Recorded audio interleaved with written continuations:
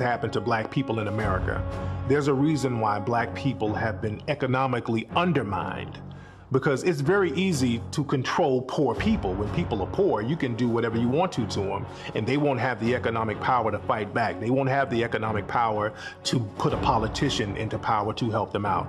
They won't have the economic base to really take care of their basic needs, so then you can control them any way you want to.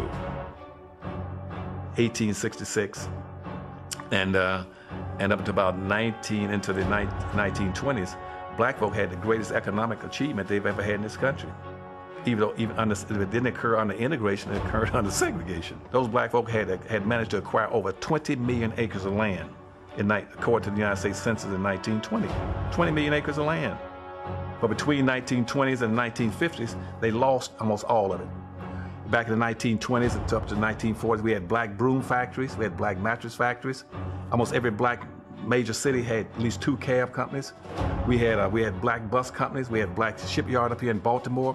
When I say black bus lines, I'm not talking about just having three or four buses.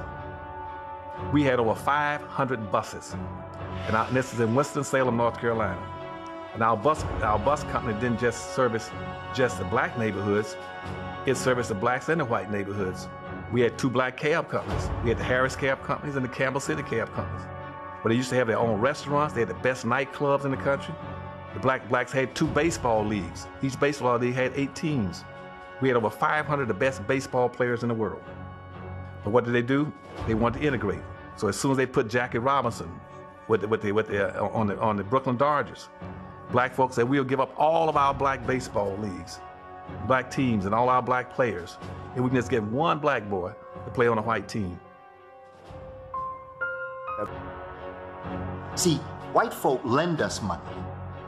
They don't pay us because they know that they're going to get it right back.